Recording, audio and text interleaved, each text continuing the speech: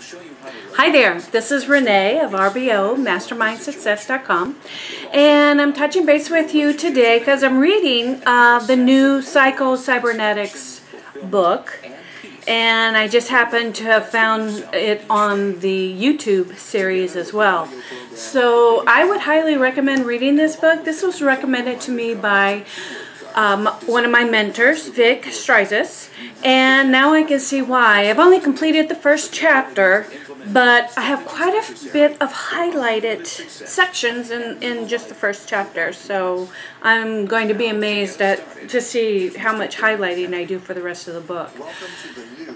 I I feel silly sometimes for changing the background with pictures and paintings and stuff that I've done, but I have a couple of friends who've asked, you know, for me to include it on um, my videos just so they can see some of the work that I've done.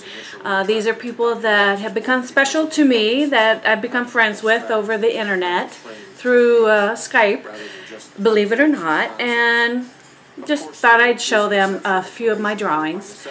And um, this one I think is probably one of my more favorite ones because this is a Xerox copy because my camera broke when I tried to take a picture of it before I uh, gave it to the person that I had done it for.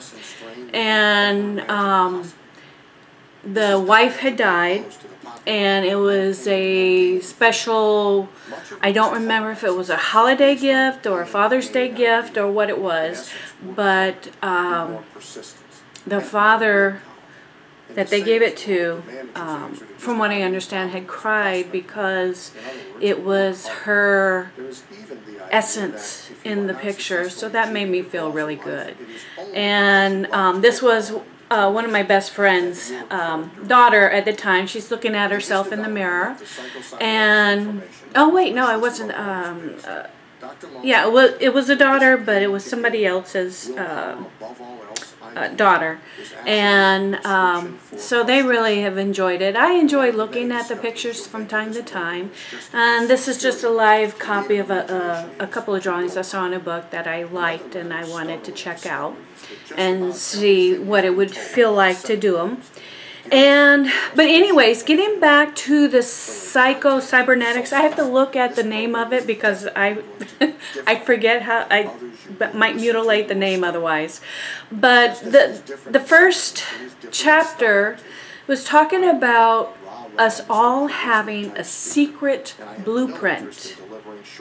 And what they mean by that is our secret blueprint of our self-esteem and how we react to the world and how the world reacts to us, what our experiences are, and um, how it is possible that if we don't like how life is going for us and how people respond to us, how business responds to us, how we are making money, you know, whether it's sufficient for what we feel we need and so forth and so on, it's already predetermined based on what you have already set in stone and believed. So, what he's saying is that we can change that belief. And I haven't gotten quite that far, but what I did get to uh, towards the end of the chapter was that he recommended that uh, Maltz is the person, but he's passed away since, but he's the author. And he recommended that we search through um, magazines, newspapers, articles, uh, the internet, and put together a scrapbook of the traits that you admire and that you want to be within you. Does that make sense at all? I was I, I was reading it and it really makes a lot of sense because like for me, Les Brown I feel is a phenomenal speaker. And I resonate with his life story so much. Uh, I, I may not have the same exact story, but the essence of the story is there and and I resonate with him so much and I admire him with his great tenacity to overcome um, what other people thought of him and how they they didn't think he was going to get very far in life because they felt that he was educably retarded and or challenged I guess it would be. But he showed them he worked hard he accomplished so much and uh, and then he overcame cancer I believe twice and he's still going. And he's an amazing speaker an amazing man and so he would certainly be one of the people that I would put into my scrapbook. What about you? Who would you put into your scrapbook? You know, uh, people that you admire, that you would like to pick up a trait or two from them? And what are those traits that you admire? That's what I'd like to know. Because we are all unique. We are all special. And I just feel that we all have something wonderful to contribute into life. And all it is that we need to do is find out what it is that is. Um, I would certainly love to be a, a, wonderful writer, so I need to decide who it is that I identify for for that skill. And they're saying to take pictures, or you know, put together pictures, articles, and stuff like that that you find you resonate with in your heart that that somehow it makes you feel like you're coming alive when you hear that person, when you see that person, when you see a book, when you see a video, when you see an object, whatever it is. So I have made I'm making that a new task of mine.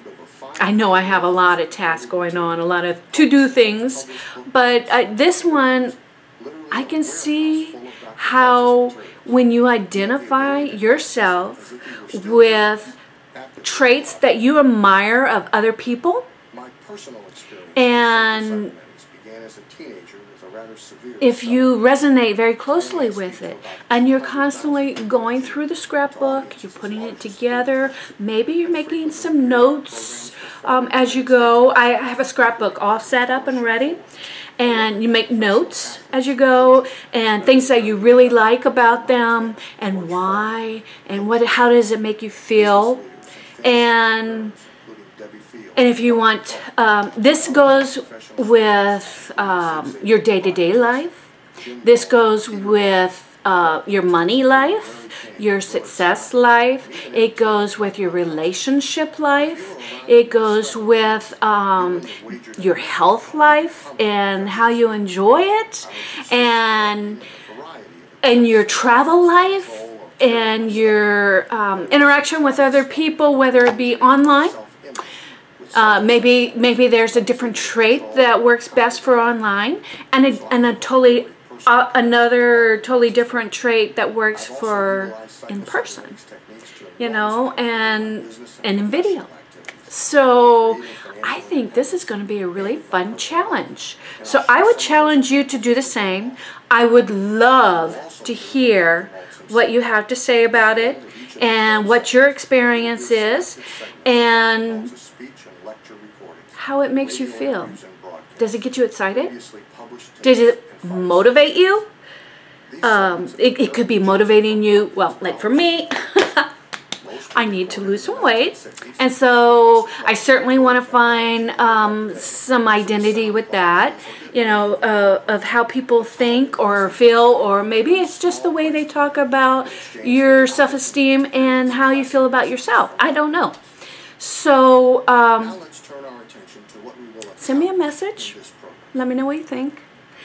You can always click on the link below and I will keep you up to date as to what's going on. I would love to have you come join me at RBO Mastermindsuccess.com and the Big Idea Mastermind is something that will definitely help you grow and it will help you get to the financial point that you want to be and um, help teach you some skills as well. We can certainly learn together because uh, I have a lot lot to learn, a lot, a lot going on, and uh, still feeling my way. I, I, I actually, I think I, I already know my way, but you never know.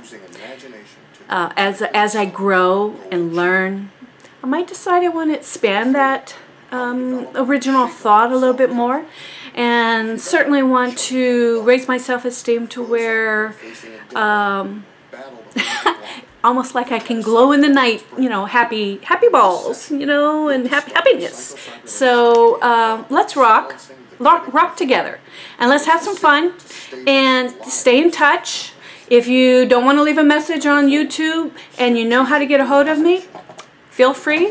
And you can also get a hold of me by signing up for my list, and uh, you can uh, manage to get in touch with me that way as well. So click the link below. Let's get started. I want to wish you much success, peace and love. I did that out of order. Uh, peace and love, and uh, kiss, kids. I hope you enjoy. And just for a quick, oops, I don't, I'm not very good at angles here, but there's a quick look of uh, some of my work. So those are drawings, and that's actually, those are actually Xerox copies of the, the drawings because uh, my camera wasn't working at that time. And then that's a live picture. So the Xerox, cut, you know, cut, gives a pretty good idea of what happens. Anyways, talk to you later. Have fun. Good night.